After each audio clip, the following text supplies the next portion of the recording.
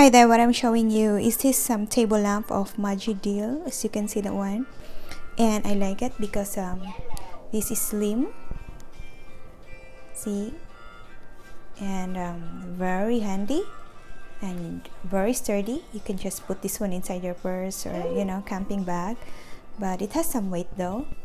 But, you know, uh, it can do lots of things and also you can decide it you can design it um, you know whenever or whatever you want. So um, I use this one to cut my son's nails too because uh, you know it's very easy especially when he's sleeping because he doesn't want me to cut his nails. So I really have to be resourceful.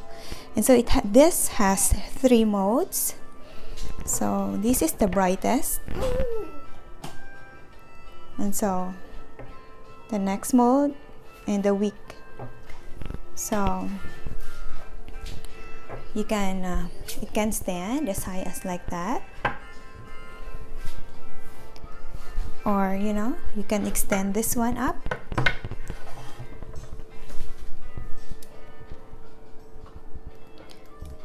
So you can do whatever you want.